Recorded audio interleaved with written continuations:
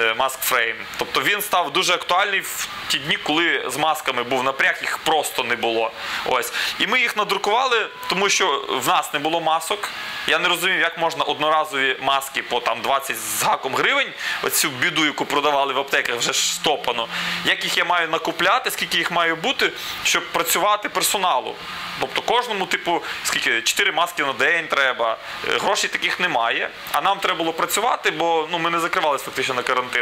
Ось. І тому, по суті, я цей каркасик надрукував, і ми собі в паперових міняли, але це вже при близькому контакті з людьми. Тобто, якщо я сиджу в кабінеті на відстані достатньо між людьми, типу, мені не треба е, від себе когось захищати.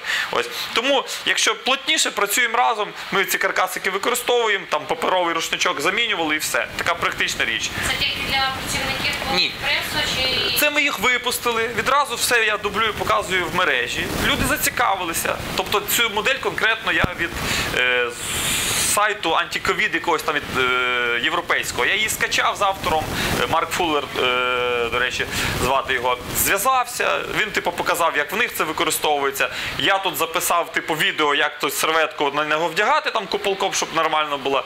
Ось і з того понеслася. В такому форматі 5, 10, 20 рамочок ряд лікарень отримало. Як бонус, ми навіть цю штуку не облікували, тому що ми взагалі більше всього не облікували по 3D. Ми друкували, друкували, роздавали, роздавали, роздавали.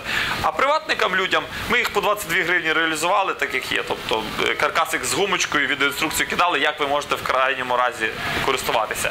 Ось Е, не позиціонували цю рамку як там суперзахисний засіб, з цим давали реально розумітися. От тимчасовий, поки немає масок, якщо не дай Бог з диму так і лишиться ситуація, можете в плотних е, натовпах людей ну якось так, типу, захищатись там їх від себе і тому подібне.